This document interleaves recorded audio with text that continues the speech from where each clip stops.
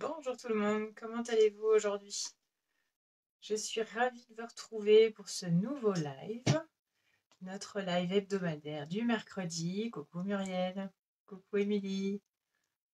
Super, je suis ravie de vous retrouver. J'espère que tout le monde est en forme, tout le monde va bien. Coucou Fabienne. Alors, je fais la synchro pour récupérer vos commentaires. Je les vois un petit peu là, mais ça ne durera pas. Bonjour Florence. Comment allez-vous? Bonjour Isabelle. Coucou Catherine. Les fidèles, comme d'habitude. Bonjour Babouchka. C'est super sympa de vous retrouver. Alors, aujourd'hui, une nouvelle petite carte. Simple et rapide à faire, adaptable. Vous allez le voir, je vais vous montrer pourquoi. On va le faire ensemble. Une carte qui va vous permettre d'écrire à plusieurs. Euh, ou de faire un petit cadeau. Voilà, je vais vous expliquer tout ça. Euh, je vais quand même me présenter parce que du coup, je vois qu'il y en a parmi vous euh, qui sont nouvelles. Donc, je vous souhaite la bienvenue. Je suis Harmonie Marais, démonstratrice Tampinum depuis janvier de cette année. Et je propose donc euh, des lives chaque semaine. Coucou Laurence. Pas de problème Laurence. Coucou Muriel. Je propose donc des lives créatifs tous les mercredis après-midi à 14h sur cette chaîne.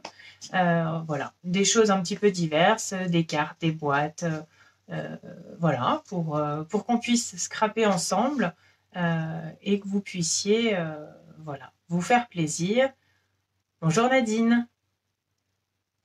Alors Delphine, est-ce que je peux voir mieux votre commentaire?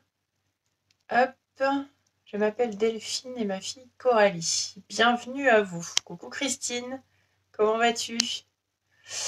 Alors, la voici, je vous, l'avais présentée euh, samedi matin, au moment de la publication de l'événement, pour que vous puissiez avoir une petite idée euh, de ce que nous allions faire. Donc, une carte à trois volets qui s'ouvre comme ceci. Ah, il en manque un bout. Delphine, je ne pourrais pas suivre le lavant. Donc, ce sera en replay. Aucun problème, Delphine, avec plaisir. Voilà, une grande carte. Donc, je vous disais, elle vous permettra pardon, d'écrire à plusieurs si vous devez faire un cadeau groupé, par exemple. Hein. Du coup, j'ai mis ici donc du papier design et ensuite ici du papier blanc qui permet de mettre euh, plein de petits messages. Ma fille va très bien, Christine, merci beaucoup. Euh, vous pouvez en rajouter évidemment sur tous les panneaux, vous pouvez en rajouter à l'arrière aussi si vous voulez. Donc vraiment plein de possibilités avec seulement trois plis. Hein. Donc, euh, que demande le peuple? Vraiment, on va pouvoir s'éclater. Voilà. Hop. Alors, je vous donne juste une petite info parce que du coup, j'ai reçu euh, ce matin les deux sets de tampons dont je vous parlais la semaine dernière. Donc, les, les, sets de tampons, vous savez, qui sont offerts aux éventuelles futures démonstratrices qui seraient prêtes à se lancer à partir du 1er septembre. Stampin' Up vous offre deux sets de tampons tampons, pardon, euh, ainsi que des lots de papier pour pouvoir réaliser un certain nombre de cartes. Euh, donc huit cartes vous pourrez réaliser avec du papier euh, notamment grenouille guirette. Voilà, donc c'est un verre. je vais vous montrer. Voilà, le grenouille guirette, c'est celui-ci. Un verre qui est très flashy, entre autres. Et donc j'ai reçu les sets de tampons ce matin qui s'appellent Dentelle de la Reine Anne. Je vais vous le montrer mieux dans le bon sens tout à l'heure. Hein. Et le set de tampons Tant d'amour. Voilà, très joli. Et ça, en fait, c'est l'équivalent d'à peu près 45 euros de cadeau, euh, sans compter donc le papier qui vous est offert. Et alors, le mien est déjà utilisé, euh, mais les bijoux classiques du Rhin aussi. Vous voyez, des petits embellissements très brillants. Donc voilà, tout ça, ça vous est offert si vous décidez de devenir démonstratrice à partir du 1er septembre. Euh, donc c'est une promo qui est valable un mois hein, seulement, donc du 1er au 30 septembre. Euh, si ça vous intéresse et que vous voulez plus d'infos, n'hésitez pas à me contacter. Euh, si vous voulez sauter le pas, vous deviendrez donc ma filleule et j'en serai ravie. Petit clin d'œil à ma petite Laurence. Repose-toi bien. Voilà, les informations sont données. Je vous propose maintenant que nous commencions donc la réalisation de cette petite carte. Ok, alors, je vais retourner ma caméra et puis nous allons démarrer donc la réalisation de la petite carte à trois volets. Mis du papier blanc pour pouvoir euh, écrire des petits messages. Voilà. Mais vous pouvez très bien ne mettre que du papier design. D'accord? Le papier uni, la base, 29,2 par 14 cm. Ok. Vous avez déjà indiqué les plis. On va faire au fur et à mesure, comme ça je vais pouvoir vous, expliquer euh, la nuance. J'ai pris ici, moi je suis papier, parti sur du papier vert. Tout simple. Pour le coordonner avec la collection de papier jardin ornemental que j'avais déjà utilisé pour la première. Donc, nous avons notre coupe papier, nous avons notre papier uni de 29,2 par 14 cm. Nous venons faire un premier pli ici. Bonjour Inès, coucou Lélé, à 10,7. Ok, donc tout simplement un pli à 10,7 cm. Nous venons faire un second pli à 17,8 cm. Voilà, donc ici, 17,8. Et un dernier pli à 24,8. On positionne le papier à 24,8 et on vient marquer notre pli. Je vous redonne les mesures une dernière fois. 10,7 cm, 17,8 cm et 24,8 cm. J'espère que c'est OK pour tout le monde. Nous avons déjà notre base pour la carte. Une fois que vous avez fait vos plis, vous voyez, hop, elle se transforme comme ceci. Donc la grande partie vient se plier là et comme ça. OK? C'est bon pour vous? Je vous la laisse comme ceci deux minutes pour que vous ayez le temps de faire vos plis. Ensuite, pour l'intérieur de la carte, la décoration, etc. Bonjour Monique, comment allez-vous? Vous aviez besoin de différentes mesures. Mon papier blanc ici, vous voyez, fait 10,15 cm par 13,35. 10,15 par 13,35. C'était donc le premier pour la décoration, au choix ou du papier blanc ou du papier design. Ensuite, nous avons ici le second papier pour le, deuxième volet en partant de la droite qui mesure 6,35. Coucou Marjack euh, donc, je reprends 10,15 par 13,35 6,35 par 13,35. On part sur le troisième pan ici, qui mesure aussi 6,35 par 13,35. voilà, donc design ou murmure blanc comme vous voulez.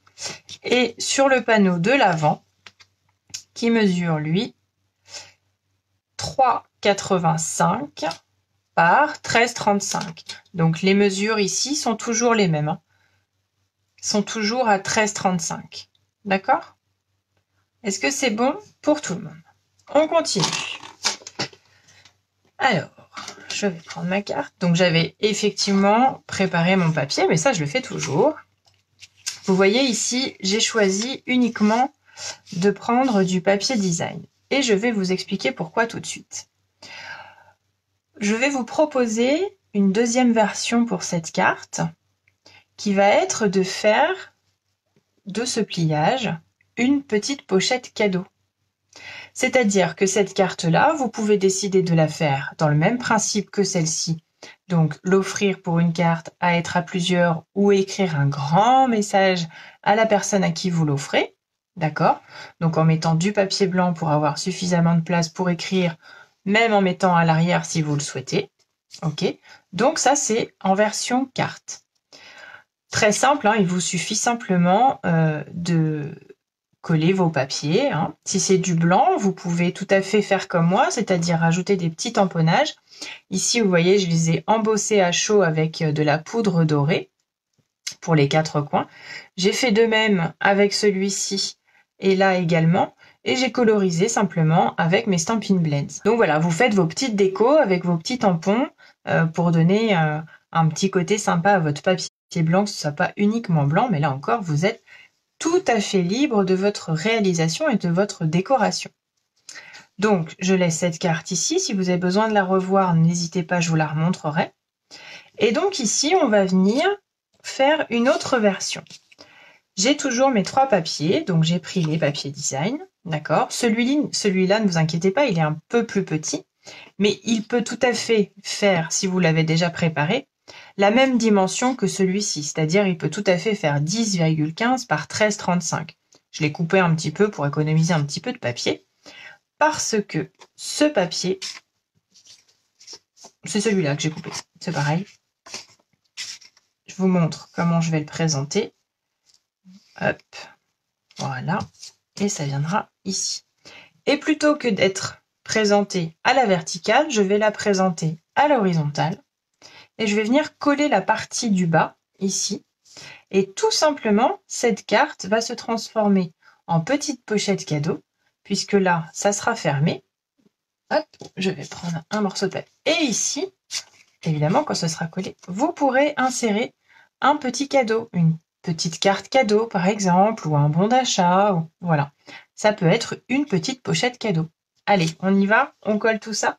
Donc là, ça vous fait en fait avec la présentation de cette carte, vous avez deux options pour euh, offrir à, à, une personne un seul tuto pour réaliser soit une petite pochette cadeau, soit une carte de vœux, d'anniversaire, euh, vraiment euh, les possibilités sont très très larges. Je viens coller mon premier panneau, mon second. Vous avez tellement de, volets sur cette carte. Vraiment, vous pouvez vous amuser avec votre déco. Du papier design, du papier blanc, à l'avant, à l'arrière. Vous avez vraiment beaucoup, beaucoup de choix que vous pouvez adapter avec le matériel que vous avez, évidemment.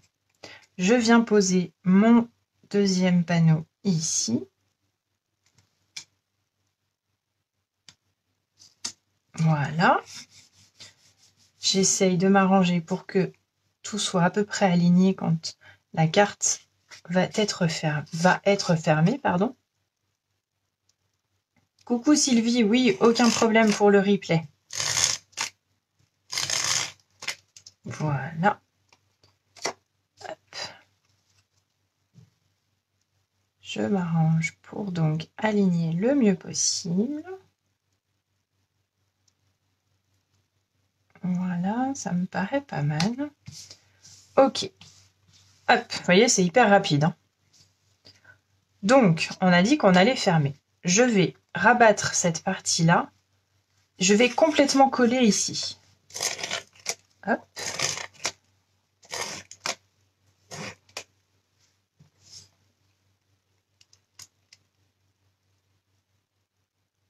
Coucou Sylvie, aucun problème, vous inquiétez pas, vous le savez, il y a le replay couper des branches. Oui, donc vous êtes costaud. Hein. Merci Sylvie. Voilà, je viens rabattre pour coller.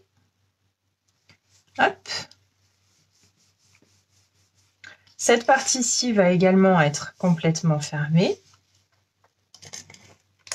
Si vous ne souhaitez pas la fermer complètement et avoir finalement deux petites pochettes, c'est aussi possible. Dans ces cas-là, il vous suffira de venir mettre simplement ou du double face ou de la colle. Merci Sophie. Sylvie, c'est adorable. Il vous suffira simplement de venir mettre de la colle ou du double face ou du stampin' seal comme ça, simplement au bord à gauche et à droite, et de venir rabattre, et vous aurez finalement deux pochettes au lieu d'une. Vous voyez, encore une autre adaptation possible. Alors ici, moi j'ai fait le choix de tout recouvrir, voilà. Et donc ici, je vais venir, comme je viens de vous l'expliquer, mettre simplement de la colle ici pour que je puisse continuer à insérer ma petite carte cadeau. Si certaines parmi vous ont fait l'achat de ce produit de Stampin' Up qui s'appelle le Stampin' Seal, D'accord Vous avez peut-être eu un problème au démarrage euh, à l'utilisation. L'astuce, en fait, pour l'utiliser, parce qu'on a l'impression parfois quand on le passe que ça va dans le vide et que la colle, ne sort pas. C'est vrai, parfois ça ne sort pas. L'astuce, en fait, j'espère que vous allez bien voir à l'écran, c'est de d'enclencher en fait le ruban de venir le mettre à peu près au milieu du rouleau pour que vous voyez apparaître la colle. Et là, le, la colle va bien sortir et adhérer au papier. Petite astuce. Donc je viens mettre ça au bord. Vous voyez là, on dirait que la colle est trop, trop loin vers l'intérieur. Donc je la fais un petit peu avancer. Et là, aucun problème. Hop, elle sort parfaitement. Voilà. Et je viens coller sur les deux côtés. Donc du coup, vous avez votre pochette cadeau. Voilà, vous allez pouvoir y glisser votre petite carte cadeau, bon d'achat, que sais-je encore. Voilà, hein, ça vient quand même assez loin de chaque côté. Voilà, vous avez hein, donc euh, juste le qui est pris la partie où vous avez collé, tout simplement. Voilà. Rien ne vous empêche également à l'arrière, pardon, de venir coller un morceau de papier blanc avec un petit tamponnage, une petite déco, pour pouvoir mettre un petit mot. Du coup, ça vous fait une carte avec un message et le petit cadeau, carte cadeau en même temps. C'est deux en un, voilà. Elle peut être uniquement en pochette cadeau en offrant une carte à côté, faire à la fois pochette cadeau et carte d'anniversaire en même temps, ou de Noël, ou alors se transformer en carte pour une ou plusieurs personnes, si vous êtes plusieurs à devoir mettre un message. Je vais venir ici terminer ma décoration. Très simple, hein, je suis restée dans les dorés en fait, puisque vous voyez qu'avec la collection Jardin ornemental, il y a beaucoup de brillants. Donc j'ai gardé ce principe-là. Je suis venue découper avec euh, une perforatrice mes, mes petites étiquettes. D'ailleurs, ça me fait penser, je vais vous montrer une petite technique avec la fameuse perforatrice qui m'a permis de réaliser cette étiquette. Je vous montre tout de suite. Là. Donc vous voyez, c'est celle-ci, ça vous permet de faire six étiquettes différentes. Hop. Je vais prendre un morceau. Alors, ici, vous voyez, j'ai marqué des petites mesures. Parce qu'évidemment, il, y a trois encoches différentes à chaque fois. Donc, il faut prévoir à l'avance de découper votre papier selon votre format soit 1,3, on parle de la largeur, hein. soit 1,3, soit 1,9, soit 2,5 cm. Ok? Est-ce que je suis claire jusque-là? Je vais choisir donc de prendre une étiquette qui fait le format 2,5. Donc je coupe mon papier. Voilà, je prends mon 2,5. Du coup, ça va rentrer nickel dedans. Voilà. Je viens perforer. Et là, vous avez vu, on récupère un petit bout comme ça. Eh bien, on va le garder précieusement. Je vais vous montrer pourquoi tout de suite. Après, quand on veut tamponner notre sentiment, il nous arrive parfois d'avoir un petit souci de taille. Ça a dû vous arriver parfois, vos tamponnages vous les trouvez, ils sont trop longs ou trop courts, ça correspond pas à votre étiquette, donc c'est un peu compliqué, on sait pas trop comment faire. Et bien là, en fait, je vais vous montrer qu'on peut adapter avec n'importe quelle taille de tampon. Regardez. Je prends simplement une chute de papier que je suis en train de chercher. Voilà. Je vais, donc là, j'ai pris, vous voyez, pour le, le matage en dessous, 2,5. Donc, je vais prendre ma mesure en dessous. 1,9. Donc je vais découper hop, mon morceau de papier à 1,9. Voilà. Donc là, voyez, ça viendra se mettre dessus. J'ai pris les mêmes mesures pour mon étiquette ici. Hein. Je viens faire une première perforation au bout de mon étiquette. Voilà. Là, pareil encore. Hein j'ai cette petite partie, je la garde. Vous allez vite comprendre. Et donc j'ai que les deux morceaux là. Vous allez me dire, c'est quand même bizarre, euh, elle perfore que d'un côté. Eh bien, je vous montre Pourquoi Je vais prendre un petit message. Hop, je vais prendre un joyeux anniversaire. Voilà. Dans le set tout petit d'anniversaire. Je vais venir l'ancrer. Voilà. C'est un message qui est assez long, vous voyez. Alors, je viens ancrer mon tampon. Voilà. Je viens centrer sur mon murmure blanc. Hop. Jusqu'ici, tout va bien. Alors, la petite astuce et la raison pour laquelle je vous ai fait garder en fait les petits morceaux, c'est que là, du coup, euh, je voudrais euh, que ça soit quand même assez équilibré. Donc, je voudrais à peu près savoir où je dois perforer et où je dois couper d'abord. Eh bien, simplement, je vais me servir de ce petit bout de papier-là. Je vais venir m'en servir de marque. Je vais le poser à la fin de mon tampon. Donc, j'essaye de faire à peu près le même écart entre le début de mon tampon ici et la fin ici. Voilà, je le positionne. À peu près droit. Je fais une petite marque. Et cette marque va m'indiquer où couper mon étiquette. Donc, je vais la mettre sur mon coupe-papier. Je coupe au niveau de ma marque. Voilà. Comme ceci. Et maintenant, je peux venir perforer mon étiquette à l'autre bout. Voyez, là, je suis centrée. Et vous allez me dire, oui, mais il y a la partie dorée. Même principe. Je viens positionner ma carte, euh, mon étiquette ici. Voilà. Je me sers du petit bout qui, qui me reste. Et pareil, même principe. Je viens la positionner pour me rendre compte à peu près d'où où ça va être quand je vais avoir perforé. Voilà. Je fais ma petite marque. Je vais découper mon papier doré au niveau de ma marque.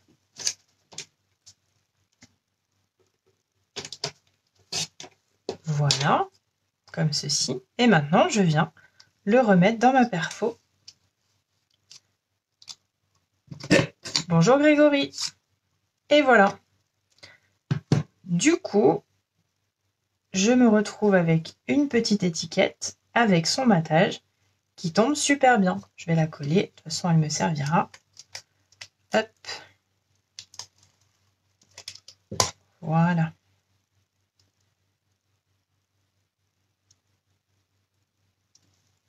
Et voilà, vous avez vu? Du coup, c'est une perfo qui est très très complète, qui vous permet de faire plusieurs formats, plusieurs tailles. Et avec ce que je viens de vous montrer en gardant vos petits bouts de papier, mais vous êtes sûr d'avoir toujours des jolies étiquettes au bord et toujours bien centrées par rapport à votre sentiment? Ça vous permet, même si vous avez des sentiments qui font deux fois la longueur, et du coup, aucun problème. J'ai terminé la déco. Je vous expliquais que avec un tuto, vous pouviez faire donc une carte cadeau ou une carte à offrir comme ceci. Les possibilités sont quand même relativement nombreuses. Rebonjour Catherine. Voilà. J'espère que, que ce projet vous aura plu.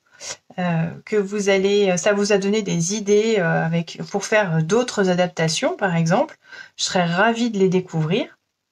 Je vais euh, maintenant retourner ma caméra pour pouvoir vous saluer toutes. Hop, c'était une réalisation, vous voyez, très rapide qui vous permet plusieurs adaptations différentes.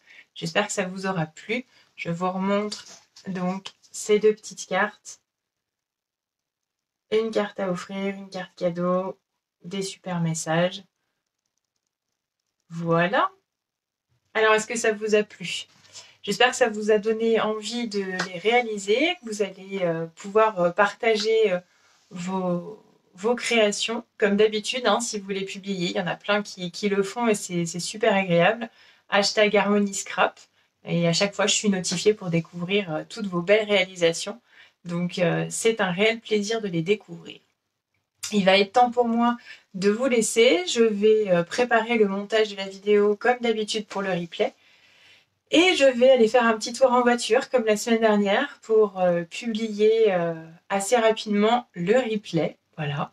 Je vous ferai peut-être un petit coucou de la voiture avec l'ordinateur sous la main. Voilà. on essaye, on, continue ce qui fonctionne, hein, d'accord Voilà. En attendant, je vous souhaite une excellente semaine. Je vous retrouve donc samedi à 10h pour la publication de l'événement du prochain live. Euh, je ne vous cache pas qu'avec la préparation de la rentrée, je ne suis pas certaine de pouvoir faire la présentation en live à 10h. Mais en tout cas, si je le peux, je le fais. Et ce sera un plaisir de vous retrouver donc samedi à 10h pour vous présenter le live de la semaine prochaine où je vous proposerai de travailler un petit peu votre créativité. Voilà. Euh, et du coup, je ferai un petit peu travailler la mienne parce que je pense que je vais faire un petit peu, euh, un petit peu d'impro parce que c'est aussi, euh, aussi sympa, voilà, de se laisser un petit peu aller et de voir un peu ce que ça donne au fil de la création. Voilà. Je ne vous en dis pas plus. Et on se retrouve donc samedi. N'oubliez pas, à partir du 1er septembre, la promo pour les futures éventuelles démonstratrices. Voilà. Je vous embrasse très très fort. Je vous remercie de m'avoir encore suivi cette semaine. Et, euh, et je vous dis à bientôt. Je vous embrasse. Ciao tout le monde.